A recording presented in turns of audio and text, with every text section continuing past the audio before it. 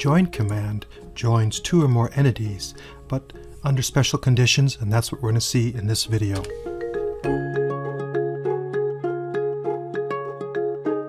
When you want to use the join command, the entities you're joining are turned into a single entity, and they have to be, in the case of lines, collinear, or else in the case of arcs, coplanar. Now there's some cases where the join command isn't going to work. So let's look at these three lines that are not necessarily collinear and nope, join command won't join them. Let's try it on these two arcs and they don't join either. However, these two arcs have this share the same center point, become joined at one end. And as we saw earlier, using the join command on these three lines, joins them into a single line.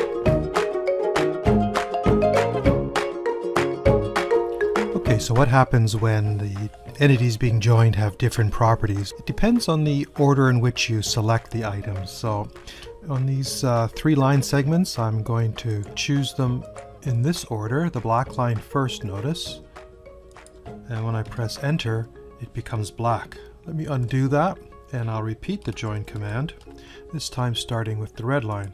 Pick the red line, the green line, the black line, press enter, and it turns red. So the first entity selected determines the properties of the other entities that get joined to it.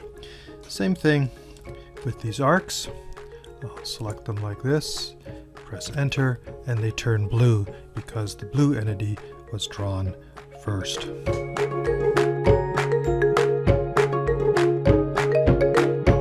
Now what happens if you have entities that are uh, different and you try to join them? Well, BricsCAD lets you do that for certain groups. I've got here a line and an arc, and I will use the join command to join them up and press enter. And on the command line, we can see that they're now it's now a polyline, a single blue polyline, so that can be very useful, turning arcs and lines into polylines. Now this is a bit more convoluted over here. I have the arc again, but this time with a helix, and the two of them are joined at the same point. What happens when we join them? I'll type in join, choose the two objects, press enter, and it says it's been turned into a spline.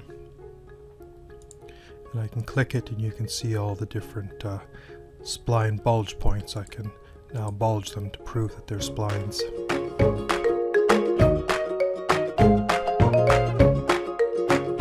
What kinds of entities can the join command put together? Well, it turns out the list is fairly short, and I've got them up on the screen for you. So it consists of lines, polylines, 3D polylines, arcs, elliptical arcs, splines, and helixes.